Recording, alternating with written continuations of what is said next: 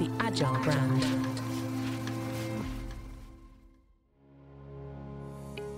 Welcome to the Delighted Customers Podcast, now part of the Agile Brand Podcast Network. I'm your host, Mark Slatin, and I am so glad you're here. I empower leaders to delight their customers, and I talk to guests with a wide range of expertise who share meaningful insights, wisdom, and practical tips that you can use immediately. I'm also excited to announce the Trusted Guide Roadmap Masterclass for CX leaders who struggle with executive buy in and are ready to go beyond CX fundamentals. The Masterclass gives you proven frameworks and takes you step by step through a four step model that will move you past the frustration of not getting your work done. It's unique because it's live, interpersonal, hands on, and we give you tools and templates to help you build your CX roadmap. To learn more, visit empoweredcx.com. That's E M P O W E R E D C X.com. And now, on to the show.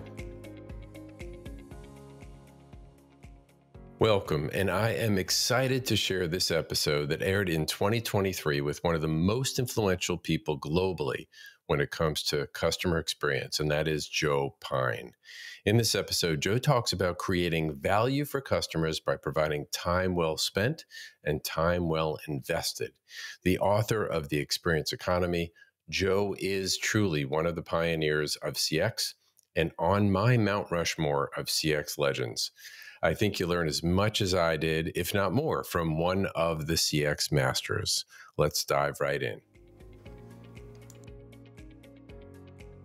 Well, I am so excited to have on my show today Joe Pine, a CX thought leader, a speaker, an author, and in my opinion, a luminary in our field. Joe, welcome to the show. Thanks, Mark. I appreciate those uh, those comments. no, really, I mean it, and we're going to talk more about why I'm, I'm, saying that. But first, if you don't mind, just uh, introduce your, yourself to the audience. Let them know kind of uh, what led you up to doing what you're doing today. Well, um, so I, you know, I always say I'm an author, speaker, and management advisor, uh, helping companies basically create greater economic value in their business. And I've been doing this for 30 years. In fact, I did a LinkedIn post, um, was it 12 days, 13 days ago, uh, where I said that I had left IBM 30 years ago. Right. So that's what started me on this journey. I was I was very much a nerd to start out with and worked in IBM and very technical jobs, moved up to management and strategy and I uh, discovered the concept of mass customization, which is uh, uh, Stan Davis, the late Stan Davis, uh, uh, wrote a book called Future Perfect in 1987. And when I read it, it was like the heavens opened up and the angels sang because it explained what I was seeing going on at IBM that we we were designing computers for this general purpose market that didn't exist. And so I worked on getting mass customization into our plans and strategies uh, and uh, and then IBM sort of reward uh, for various work I'd done sent me to MIT for a year to get my master's degree. And I had an opportunity uh, five weeks ago to go back, spent four days at MIT with a client, doing a few speeches, and then uh, touring around, meeting professors, and so forth. So just you know, such an intellectually stimulated environment. It was just yeah. great to be there. Yeah. Uh, and then when I found out I had to do a thesis, I said, I'm going to do a thesis I can turn into a book. Right. So mass customization was my thesis at MIT. And then when I got back to IBM, I got a book contract to be able to write it. It came out in late 1992, and um, and then in June of the following year, 30 years ago, I I, I uh, left IBM uh, and started to to go out on my own.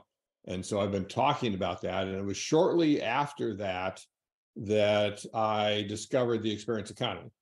So it was like, uh, so I, IBM was my biggest client. I came back and taught their consultants and clients at the IBM Advanced Business Institute out in New York. And uh, I was doing a, a, a workshop with a all day workshop with the consulting group. And I said something I often do, which is that mass customizing a good, right, a physical good, automatically turns it into a service. Hmm. look at the classic distinction goods are standardized, but services are customized. They're done for an individual person goods are inventoried after production, but services are delivered on demand when the customer says this is what they want. And goods are tangible and services intangible, but part and parcel of mass customization is the intangible service of helping people figure out what it is that they want. You know, so uh, you know, sort of a classic example now I use all the time is the uh, have you seen the Coca-Cola freestyle machines and like Five Guys and Wendy's and oh, where you can pick whatever flavor. Yeah. Exactly, right? So I mean that's mass customization. You pick whatever flavor you want. You define what it is that you want with the touch screen, you know, a little design tool that they have. You can mix all the different types of Cokes. You can add lemon and lime and cherry and so forth. And you you define what you want. And then and only then does it get put in finished in, inventory, right? Mm-hmm. You put your cup in there, you press the button, and then you get the Coke that you define, right? So that really, they're really in the service business of helping you figure out what you want with the touchscreen and then delivering only and exactly what you want. All right. So that's what mass customization is. So this uh, this uh, consultant in the back of the room, sort of a smart aleck, said, "Well, you talked about service companies that mass customize. What does it turn a service into?" And I shot back mass customization automatically turns a service into an experience. And I went, whoa, that sounds good. Hold on a sec. Whoa. Write that down, right? so literally it was providence. It just came out of my mouth, right? Never thought about it before, but I thought about it a lot afterwards. And I realized that that that was true, number one, that that if you if you design a service that is so appropriate for a particular person, exactly the service that they need at this moment in time, customized to them, then you can't help but make them go, wow, and turn it into a memorable event, right? And that's what an experience is. It's a memorable event that engages each person in an inherently personal way. And so, excuse me, I realize that experiences, therefore, were a distinct economic offering, as distinct as, as from services as services were from goods and goods were from commodities. excuse me again. And there, therefore, there would be an economy based off of experiences, just like there was the agrarian economy based off commodities, industrial economy based off goods, service economy. And, and so that was the, the beginning of, of the experience economy. Uh, was that you know that just flash that that came out and starting to think richly about it and, and what it meant and that led to several articles began in 1996, including a Harvard Business Review article in 98 that got a lot of attention called Welcome to the Experience Economy. And then in 99, we published the first edition of the Experience Economy with the subtitle Work is Theater and Every Business is Stage. Okay. And then since then, so bring us bring us forward to today. Um, since then, you've been you've written other books, you co- co- collaborated with other books, and then, yeah, bring us up to speed. Yeah. So yeah. So I wrote that book with my partner uh, Jim Gilmore, uh, who who became my right after IBM. Then he became my biggest client when he worked for CSC Consulting, and uh, and we did research together. And and so we decided to to uh, he left and, and joined me, and we took uh, another partner from CSC called uh, Doug Parker, who, who was our managing partner and does everything else so so we came out with the book we we then started you know doing a you know ton of speaking workshops again consulting with companies on it um, one of the things we recognized was that um, particularly on trips to the netherlands right? I've been to the netherlands you know probably three dozen times. I was a visiting professor at the university of amsterdam for a while and whenever i would talk about experiences they would always ask a particular question at the end and it was actually less a question than an accusation and I always began with the same two words you americans. The dutch would say you americans right? You like your disneyland your fantasy you know your your your uh, uh, um, you know in your face sort of experiences. But we dutch we like our natural authentic experiences. And and this happens so often i got to thinking about it and sort of developed a practice response um, which involve telling them that they're wrong. it's the day, they, you know, I say, you know, it's it's interesting getting this question because you come from a country that's every bit as as uh, fantasy as as uh, Disneyland is, right? That that that the, it's not a natural place, right? You you two thirds of the country you've recovered from the sea. Uh, you and and and every every uh, you you go for a walk in the woods. It's the only place where I've ever been um, uh, walking in the woods and all the trees are lined up in rows, right? Because they plant their forests, right? It's not, you know, and they, they they'd always go, mm, and then they realize I'm right, right? But what it said is that that there really is this desire for authenticity. Sort of like everybody around the world wants to think that the experiences they have are authentic, even if they're different than everybody else's. And so what Jim and I realized is that authenticity is really becoming the new consumer sensibility, we call it. That that um, the primary buying criterion by which people choose who to buy from and what to buy. And it just naturally arose with the rise in the experience economy because of um, of uh, uh, the uh, the fact that, that as life becomes more and more of a paid for experience, we just question what is real and what is not. And increasingly, people don't want the fake from the phony; they want the real from the genuine. So in 2007, and just on LinkedIn today, uh, somebody posted a book review of it. You know, even though it's uh, from 2007, uh, we came out with authenticity: what consumers really want. And so, if your mm-hmm. listeners are interested in that, they should look up that book.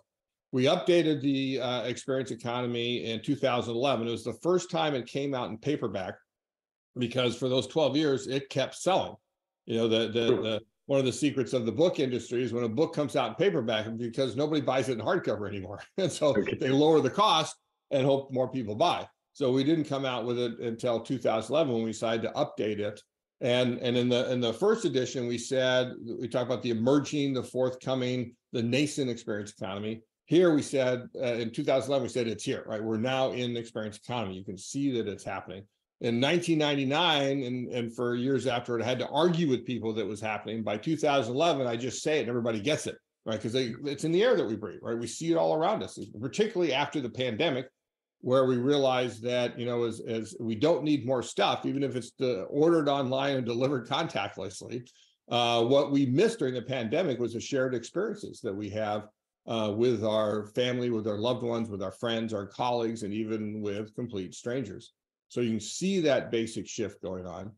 Um, yeah. 2011, I also wrote a book called Infinite Possibility, uh, Creating Customer Value on the Digital Frontier to talk about how you fuse the real and the virtual at the beginning of augmented reality, virtual reality, and all that. So I talk about that in there. And then 2020, we re-released the Experience Economy, uh, released it for the third time uh, with a new preview on, on uh, competing for customer time, attention, and money. Because time, attention, money are the currencies of the experience economy that's what you're battling for and and and therefore you need to to to get into the experience business or your goods and services are going to be commoditized uh, which puts you where you're competing against the world for the time intention money of individual customers. So we talk in there how to go about it in particular about how um, you uh, create experiences create and stage experiences that are robust cohesive personal, dramatic, and even transformative, right? That those are the five key elements of experiences. So there's been a lot of other stuff in there too that I've written and, and thought about all this sort of I, I, liken it to the Marvel cinematic universe, right? I got this universe of thought that I keep expanding out in, in different directions. But uh, but those are the highlights, Mark. Probably more than yeah. one. no, no, I, I, I love it, and I want to double tap on a whole bunch of it because there's a lot to unpack on what you just shared. But um, before we do, I, I am a fan of strength, um, many others, but a fan of Strengths Finders, got Gallup, Clifton, yep. and, and one of mine is ideation. And I'm guessing you may also share that in your top five strengths is ideation. Have you ever taken yeah, this? Yeah, I, I love ideating. I love ideating beyond, uh, you know, on behalf of clients in particular and thinking of new ideas. What I say is my, my fundamental strength, which actually goes back to my applied mathematics degree, where I had a class on model making. But the, the primary thing that I do is, is one, that's pattern recognition, right? Mm. Seeing what's going on in the world and seeing the patterns, connecting dots and say, okay, this is significant. Uh, and you know, sometimes like to say that I can I can develop a trend off of a data point of one, right? Because even one one company do something and say, ah, you know, that's something I can see how other companies could do that. And then two, the model making is developing frameworks that first describe what's happening and then prescribe what companies can do about it, right? And that's what I did first with mass customization, um, uh, which is now you know like this huge thing that, that companies are doing the world over. Uh, secondly, with the experience economy, and then on and on with the other uh, other concepts. Right? Figure out what's going on, develop a model, explain to, to companies this is what's going on, and this is what you can do about it. Yeah, and um, and so if you were paying attention as as you delineated your work history and your your book history, um, if you notice the, the years that he was talking about, Joe was ahead of his time um, and, and a futurist in that sense, another one of the strengths.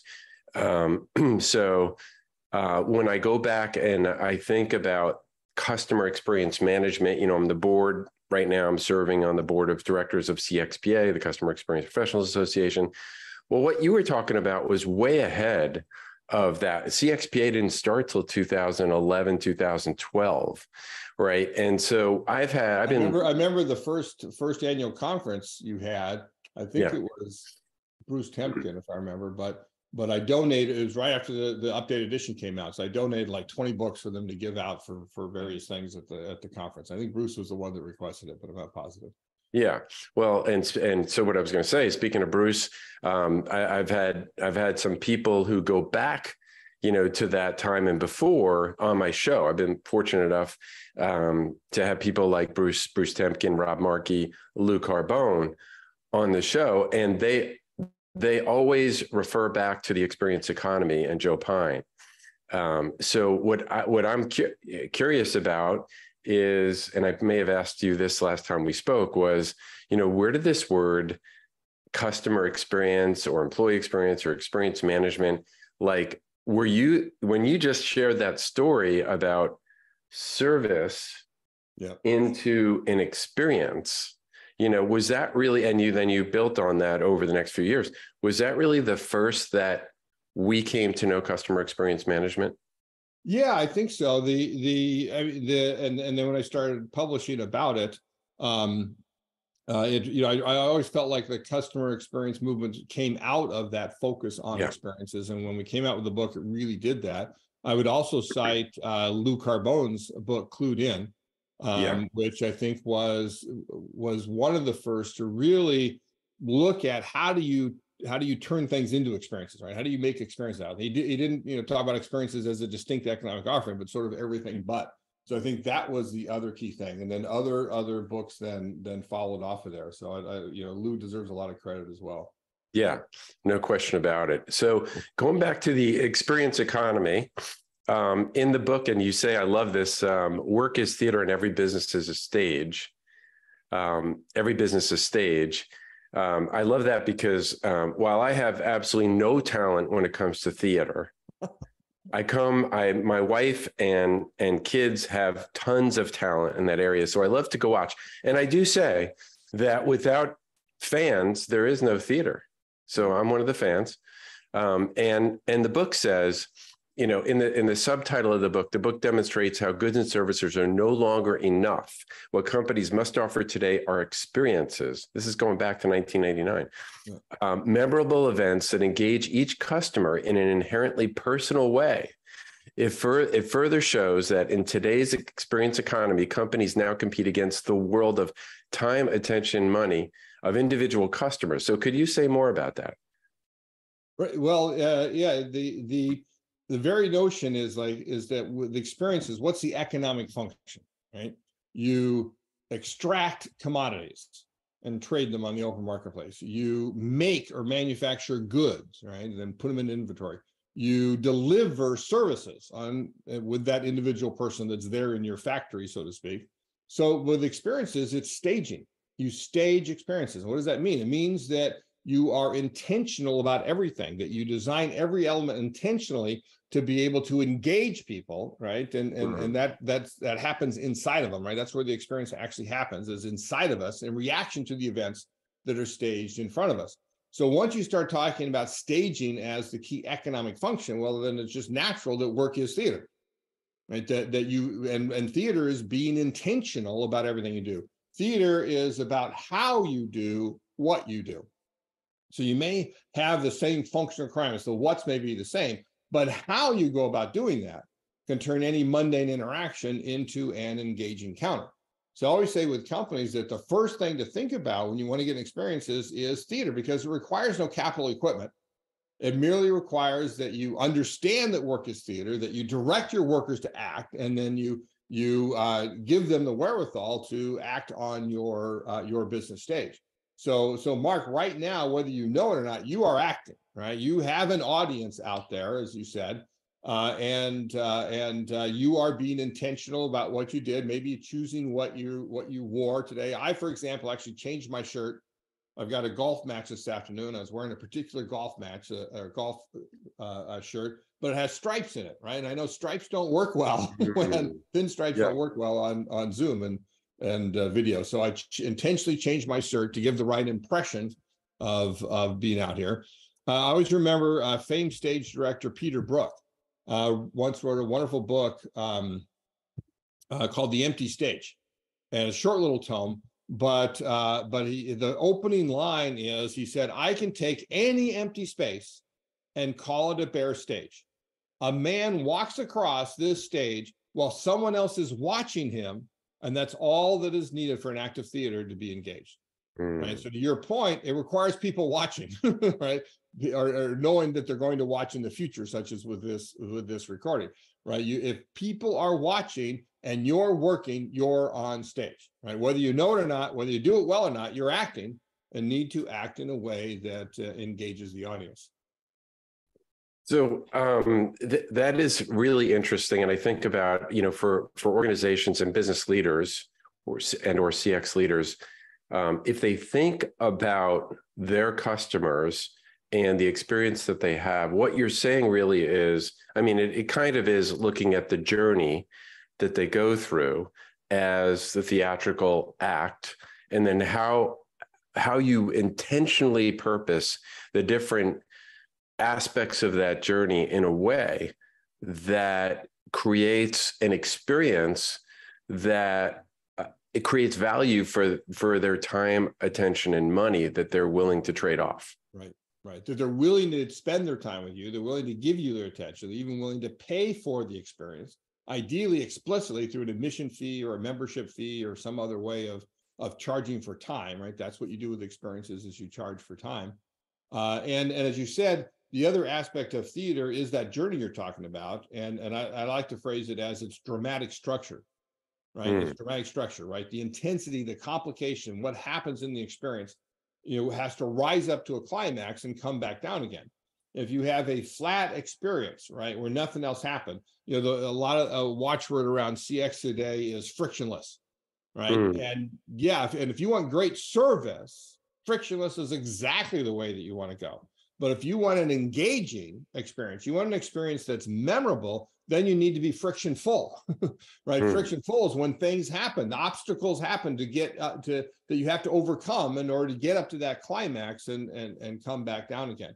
So you design that dramatic structure uh, that your customers go through in order to create the the engagement and create the memory. So Joe, let, us talk about a, a, practical application. Then I want to go back to a chart that I saw you share in one of your speeches, one of your presenta- one of your keynotes um, that had sort of these four or five levels, and above the line was, uh, uh and let me come back to that in a minute. But from from an application standpoint, if I'm a bank, right, and I'm a banking customer, um, there are certain things that I want to have done with without a whole lot of friction right. and and drama, right? If I go to an ATM machine to get money out, which I don't do anymore, but people still do that um, I guess. Or if I go to if I haven't been to an ATM in a decade myself, but yes, I, still I get cash. But instead of an ATM, I go to a Julie. I've got a Julie at home, and Julie gets cash for me when I need it. you're, you're lucky. I, I don't have a Julie. Um, Everybody should have a Julie. Wonderful. Um, so so yeah, so there are certain. So how would you? What would you say? Because um, people, uh, uh you know, people we're not talking about creating obstacles and and and and, and friction that's painful can right. you can you share you know how right. the practical application of that would look so right so if you look at banking i'll say first of all no industry is more commoditized itself than mm. banking why because they came to view spending time with customers as costing them money right so they want to push them out of the branches where they're costing us money to use atms they want to push them out uh, to use a phone voice response system. They want to push them out to to access it over the internet. They want to push them out, give them an app so they can do everything on their app. And we want that, right? When we're looking for service, right? And and and services are basically about time well saved. That you save my time in doing this activity, right? And they're absolutely we want it to be frictionless. We want it to be as convenient as possible. Uh, we want to get it done and over as as quickly as possible but what experiences are time well spent that people actually value the time so are there times in banking when you're looking for that absolutely i mean the one example I'll, I'll point to the original ing direct cafes that are now the capital one 360 cafes right So now this is this is them saying, look at here's an opportunity to come spend time with bankers, and we don't have to make a formal appointment. We don't have to to um, um, you know get you uh, me behind the desk and and you out there and so forth, or or a teller where they're up on high on a high stool and looking down on you and that. Uh, hmm. Instead, let's just have a conversation, right? Let's just informally talk about what you need, and they get they get uh, people to come in and have that conversation, right? And that's not time well saved. They're actually spending more time with the bank, right? It's time well spent over a over a cup of coffee, or um, um, what was the other one I was thinking of? Yeah, I lost that one. Um, well, yeah, so you read my mind when you when I drew that line and I was about to go in that direction. My follow up right. question, which was, I saw that illustration and I love that illustration. Love I'd love you to share a little bit more about that because I think you had maybe goods, services, know, below the line, right. and and that that that works nicely into the question I had previously asked about, you know, how should we design experiences as as business leaders? Um, so you talk about, you know, service below the line, time well saved. Sometimes that's what we're looking for, but then time well spent. So talk about when they both apply. Right. So so they they they both apply uh, like even all experiences have time well saved aspects, right? If you're going to Walt Disney World for the day, do you want to spend a half hour waiting in line at the entrance mm. to get in and pay your money? No. You want to book in advance, you want to get a magic band, you want to walk up, go ding, boom, you're in right? So the right. service aspects of the experiences are should be time well saved because all of this is if, if you got any uh, technology leaders, right? This is a stack, right? The, this progression of economic value, as I call it, is a stack, and that experiences are the layer of experiences are built on top of the layer of services. You can't have experiences without having uh, services, and you want those service aspects to be time well uh, saved. Services you can't create without goods, you know, whether they're the the the uh, tables and chairs at a, at a cafe or a restaurant, uh, the dry clean equipment in a, in a, in, a, laundry facility or whatever they might be. You have to have goods. You build surround those goods with the service activities of using those goods on behalf of the, the customer. And goods, of course, are made out of commodities, right? So they're all of a, a, a stack like that. And so so the the line that I draw between services and experiences is that time well saved versus time well spent right? Services, goods, commodities, time well saved. Experiences, time well spent. And and and I will make a quick aside, which is in fact though many of the goods that we buy are to enable the experiences that we have. Right? I'm playing golf this afternoon. Well, I've got golf clubs, and the golf clubs enable me to play that experience. You go surfing, you have a surfboard. So so just a vast majority of goods we buy, in fact, are for the services that they enable. Um, and uh, and so there's the, the there's one level below that that I don't usually draw in that way, uh, and that's time wasted. Right, the worst thing you can do is waste your customers' time. Right, and companies do that all the time. You know, by uh, you you you call up a call center. This happened to me just the other day. Right, I called up a call center. It asked me it asked me to provide my account information, right, so they could identify me, even my address and that. And the voice response unit specifically said, so we can pass it on to the representative. But I get to the representative, what's the first thing they ask me for? right? Is all that information they gave. Yeah. And I specifically said, I already told, told gave that information, and they said they pass it on to you. Oh, I'm sorry, sir, I don't have. I'm like just like wasting my time do that over again. are you you you go to a doctor's appointment or hospital, the first thing they do is they give you a form to fill out of information they already have. Right. Right.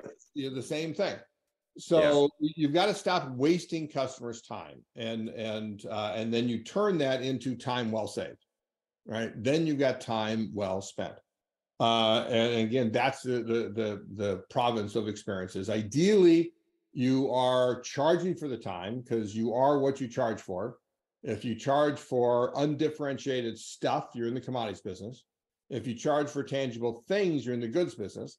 If you charge for the activities your people perform on behalf of the customer or the client, then you're in the services business. But economically, you're in the experience business if and only if you charge for time, right? Because that's what people value. And so you, I always use Starbucks as a great example because you can see the coffee progression it starts off as a commodity worth two or three cents per cup, turn it into a good that you buy at the grocery store worth 5, 10, 15 cents per cup. You go to a vending machine or a corner diner, bodega, 7 Eleven somewhere, now you're paying 50 cents, dollar or two per cup but you you buy that cup and spend time in the ambience and theater of a Starbucks, and now you're spending four, five, six dollars per per cup of coffee.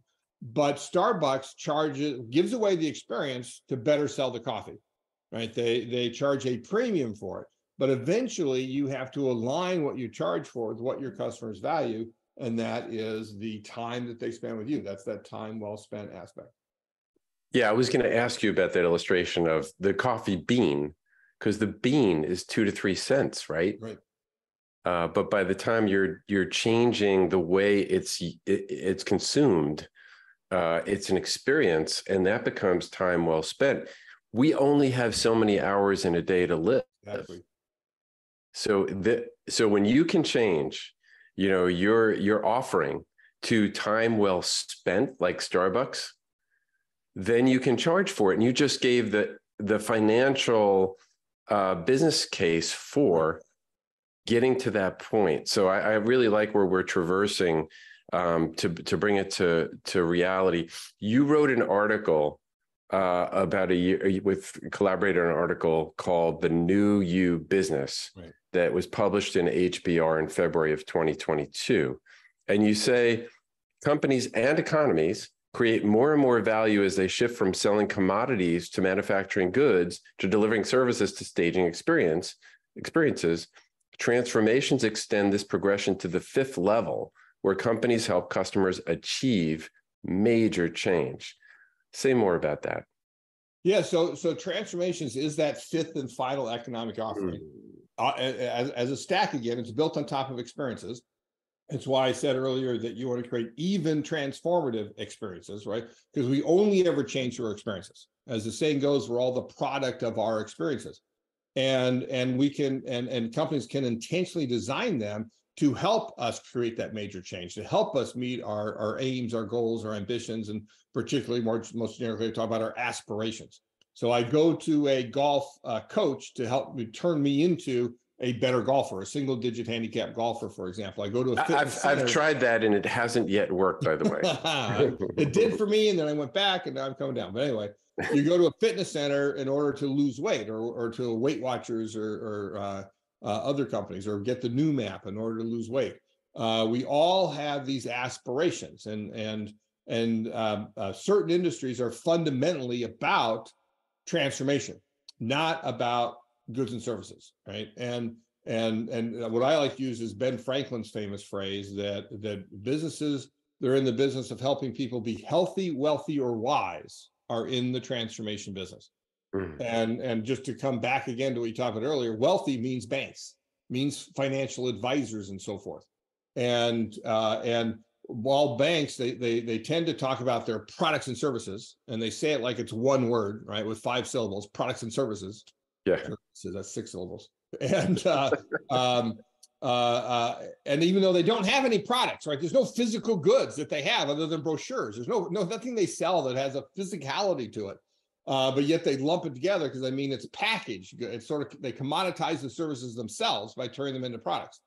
And instead, they need to think about going beyond products and services to experiences and transformations. That um, that money effectively is a means to an end. There, there are a few people for whom it is the end, but uh, uh, money is a means to an end for most people. And if you sell the end rather than the means, then you can gain much more economic value. And and and transformation, we talk about time well saved, time well spent. Transformations are time well invested. Mm-hmm. Right? That people are investing their time in those time well spent experiences in order to pay dividends and compound interest now and into the future. Right. That's what we're looking for with transformations.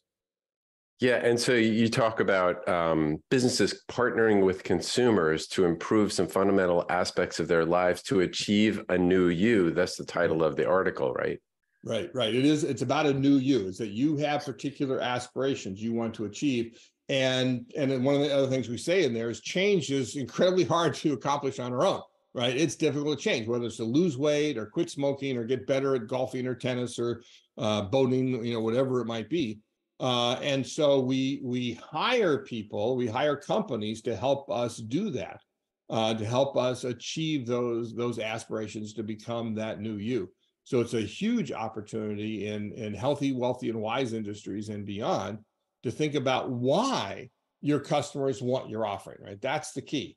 I talked about how services are the what and experiences the how, right? That's what the theater aspect to it. With transformations, you need to think about the why, right? Not why you're in business, although of course that relates, but why is your customer buying this? What what it is it that they really want, and then and then sell the sell the next sell the end rather than the means to which you're offering um, um, um, it, to which your offerings is the means. So so sort of thinking about what's your customer's goal, what, what, do they what do they want to achieve what by using or interacting with you and your products or services? Right, exactly right. What is their goal? And it and it's going to be it's going to be as individual as every customer you have, right? We can talk about generically fitness centers take people from from um, uh, flabby to fit, uh, healthcare generically from uh, uh sick to well, financial services generically from uh, um, uh, where they are today, which may be poor or otherwise, but too wealthy, right? That's where they're wealth advisors, or they want to make you wealthy. Um, um, but every individual has a particular reason, right? I may go to a financial advisor uh, because I want to retire well. I may go to a financial advisor because um, I want to be able to send the kids to college. I may go to a financial advisor because I want to have a big vacation every year and be able to to put away money to be able to uh, to afford that, and and so on and so forth we'll all have our individual, and often idiosyncratic reasons. So you need to find out that why. You know, the first step of a transformation I like to call is diagnosis, right? Diagnosis. Who is this customer? What do they want to become? Where are they today? Right. Then when you've got that gap between their aspiration and their their state today, then you can design the set of experiences that take them um, uh, to that uh, to that level, right? And often there's some backsliding in there, right? Like like you know, I, I was above uh, below single on single digit, now I'm above single digit. Got to get back again. You have that, uh, and and so you design the set of experiences. And the third thing you need is follow through. Mean, follow not follow up, which is hi, how you doing, but follow through, which is ensuring that the transformation takes hold, right? If I quit smoking, go through a, a transformational quit smoking program, uh, you know, and then three weeks later I light up again I wasn't really transformed. You've got to ensure that it it uh, uh, stays through time. Good. It's a really important point because whatever industry or business you're in, um, sometimes people think even the even the experience ends when you've you've sold the product or a service, and you got paid for it, and and that's really not true. Right. Yeah. Right. There's yeah. always things that you can do after that create even more value. Yeah. Um, so, so great conversation, so much good stuff. I hope if you're listening, you've got some real practical applications out of this. And and I think I hopefully in that last discussion that we just talked about, even if you're in you're a middleman, you're a wholesaler, um, if you're selling, forgive me, widgets, um, you, you know, somewhere in that process that aren't quite as uh, transformative as a, a Disney World or a fitness uh, expert or a wealth management person, you could still get the main point, which is you are serving someone. What are their goals, and how do you how do you build value for them and personalize the experience? Right. Right, exactly. Is is thinking about that that next level, and I like to say B two B companies should, in particular, uh, think about the transformation level. Think about going you know up that chain to provide more value for the customer because no company ever buys their offerings because it wants their offerings. It's always a means to an end, right? So again, you work towards those ends. Why do they want that offering? And you know, go from just uh, uh, delivering you know widgets, as you say, to, to someplace to to category management and managing the entire category, right? Not you where you don't have to have people that'll put this in place. We'll do that. We'll put it on your shelves. We'll put it in your lot and so forth you know and then what the next level that we can do to help them become a better business right? That's what they want. They want to become a better business. Okay. All right. Terrific. And you and i talked about an, a concept that um, that is fresh for you and something you've been stirring the pot on a little bit and we may be hearing more from you on. And i love it because you're a thought leader and you ideation is definitely in your top five uh, you're you're ahead of all of us. And the the concept or the the term that you're using is customering, Um, and could you define it for us and talk about the implications for how designing experiences for, could apply to marketers? So, so yeah, so my partner Jim Gilmore, I just did a master class here in Minneapolis uh, last month on this topic, and the basic idea I understand is that um, uh, there are no markets, only customers. Right? Markets are a fiction we tell ourselves. We don't know who our customers really are. But a customer isn't part of a market or a segment or a niche or a demographic or a persona, right? All of those are are are are, are um, groupings of customers that do not exist. A customer is an individual, living, breathing person. Or if you're selling to, to other companies, they're they're a uh, you know active uh, uh, corporeal individual uh, entity. And so we need to ascend to the proposition that all customers are unique, unremittingly, undeniably, unarguably unique. And therefore, we need to stop marketing and start customering. And so that's where the idea comes from is how do we hmm. custom? And, and I will say, you know, the term marketing's only been around for like 120, 30 years, maybe. Uh, and I'm sure that uh, it didn't fall trippingly off the tongue when it was first uttered either. Um, but uh, same with customering, but that's what we need to do. Um, it involves uh, you know a whole lot of different things. You know, that one of the fundamental principles of customering is to go from push to pull, right? Is stop making stuff and pushing it out, putting it on shelves, putting it in inventory, and instead pulling from customers what their their individual wants are and doing something different for them. So that then harkens back to the mass customization that because you want to do so efficiently, right? Mass customization is efficiently serving customers uniquely. So you want to do exactly what they want, give everybody what they want, but do it at a price they're willing to pay. And so you pull that information from them, you pull the the the uh, in process inventory to produce a product for the customer. Again, think about the Coca-Cola freestyle machines. They come up, they tell you what they want, you pull that information from them. Then and only then do they pull literally, right? Pull down uh, the different elements, the the, uh, the fluids, right, to go into your particular drink, and uh, and deliver it to you.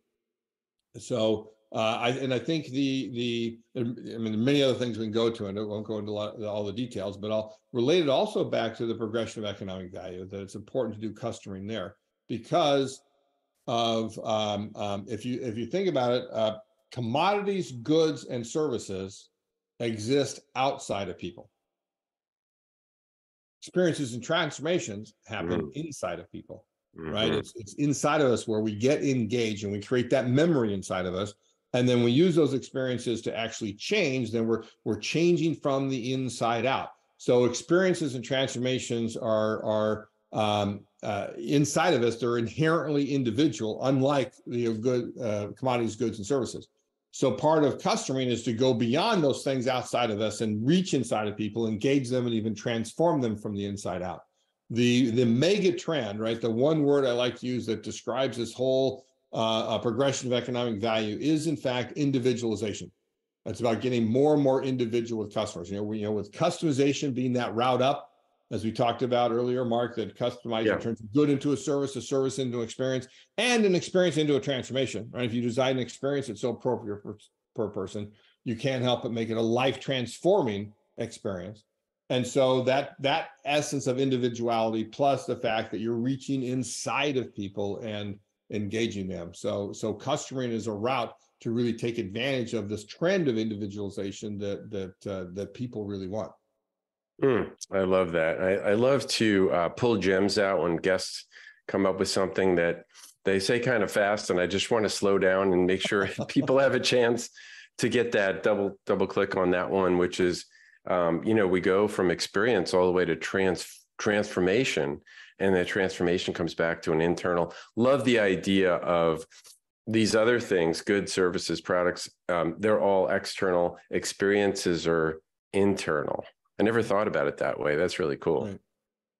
Um, I I have one other question that I want to ask before my closing question, which I which I asked all guests, but it is something that came up as you mentioned that last topic, and that is, Joe, you you um, have talked about things big and small in terms of the world of uh, customer experience. Big being experience economy, progression of value. These are big concepts, yeah. big things. Or you talk about uh, economies and countries and companies, you know, but then we just talked about individuals and impacting people's lives, and we only have so much time, big and small.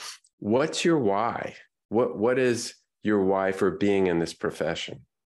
Well, it's actually it's, it's what I talked about earlier. My why, my my raison d'être for uh, in, for uh, working in business uh, is to figure out what's going on in the world of business first, and then develop those frameworks to first describe what's happening and prescribe what what companies can do about it. So that's that's what I've done ever since I started on this path with uh, mass customization over 30 years ago.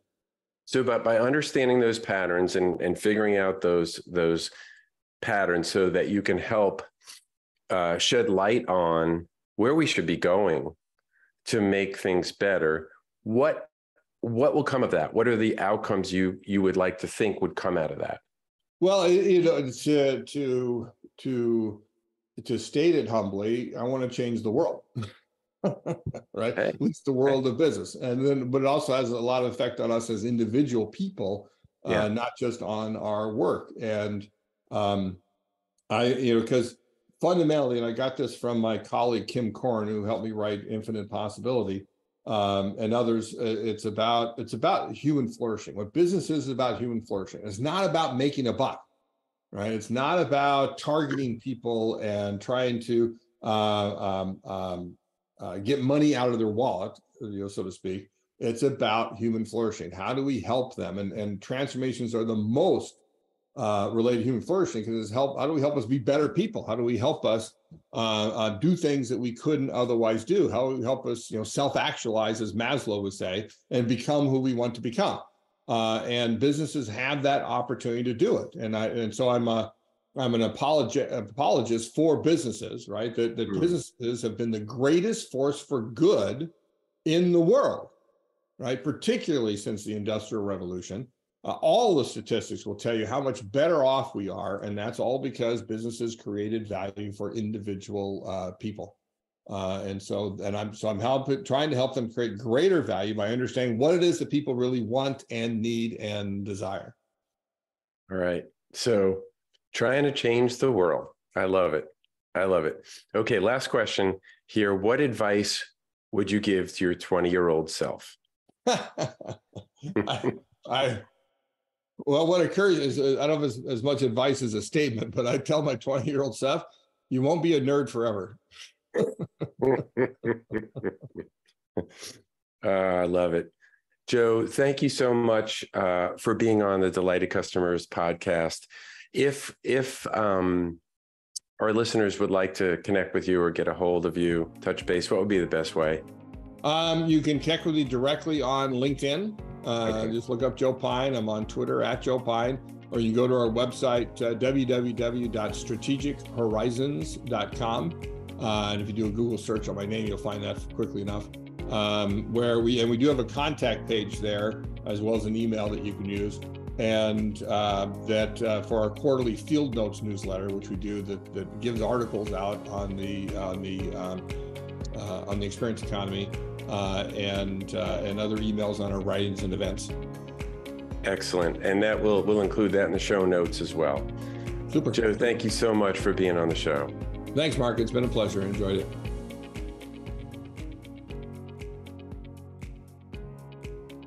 Thanks for listening to the Delighted Customers Podcast. If you've enjoyed this episode or any of my other ones, hit subscribe or follow.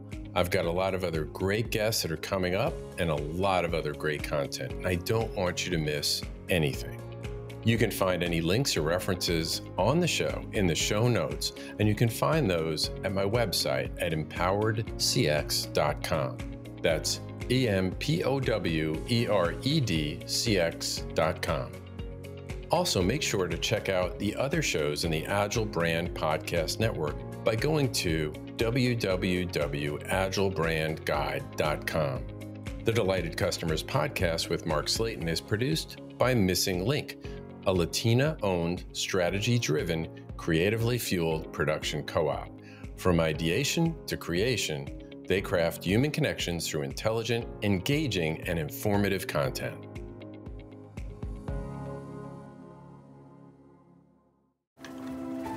the Agile brand. Ever tried reading while jogging, cooking, or even juggling flaming torches? Yeah, doesn't end well. But with audiobooks.com, you can conquer books without the circus act. Dive into over 450,000 titles, including more than 10,000 free ones. Get hooked on a bestseller, find your next obsession, or finally read that classic you've been avoiding since high school. And here's the inside scoop sign up today for a free 30 day trial and snag your first three audiobooks on the house. Sign up for your free trial at audiobooks.com slash podcast free today. That's audiobooks.com slash podcast F R E E.